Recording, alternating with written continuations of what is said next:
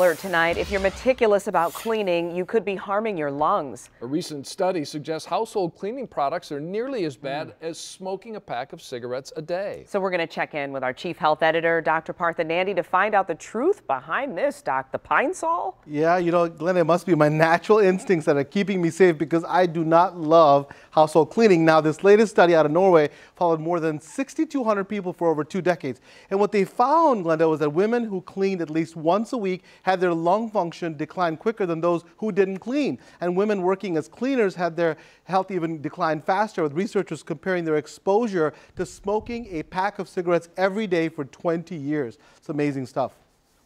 So how are cleaning products affecting our lungs? What so, happens? So we think that researchers think that the small particles in the cleaning products irritate the mucous membranes in the airways, which lead them to have long-term damage, which is not good because we need proper lung function to pump oxygen into the blood and get carbon monoxide out and carbon dioxide out. Poor lung function could be a sign of lung disease or the possible development of that. All right, so you've got to clean though. So instead of cleaning products, uh, what's safe to use? So Dave, you're right, you got to clean. So it's really important to choose cleaning products carefully because federal regulation of these chemicals is fairly poor. So my prescriptions, as always, first try to avoid spray cleaning products or spray the product onto a cloth so you don't breathe in the chemicals as easily.